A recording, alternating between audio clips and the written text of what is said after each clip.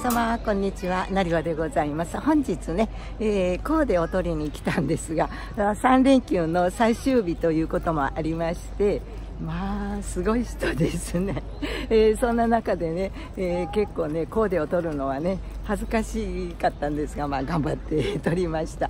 後でねご紹介したいと思いますね。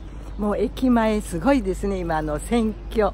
合戦真っ只中、ね、あの駅前にね違う政党のね、えー、方がね 4, 4つ並んでいてちょうど今ねあの山本太郎さんがね、えー、せんあのされてましたね。すごかったですよ。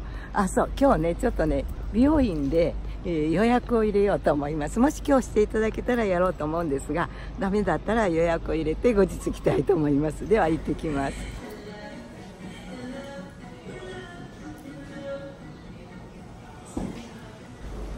いい美容院でいて カラーリングとカットをしていただきました。すっきりしましたね、えー、結構あの切っていただきました今回はね、えー、だけどいい感じにあのパーマがちょうどいい感じになりましたね、えー、よかったです。これでもうねお家は片付いたし、ヘアスタイルもすっきりしたいのでこれで頑張って、えこれからもねやっていきたいと思います。今からねちょっと私お散歩をしたいと思います。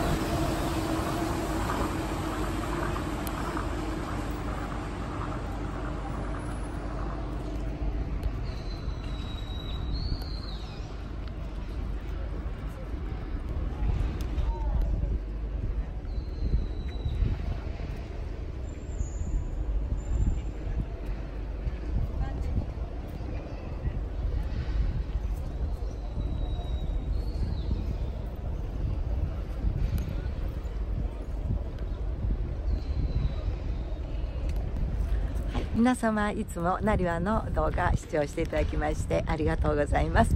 またお会いいたしましょう。なりわでございました。では。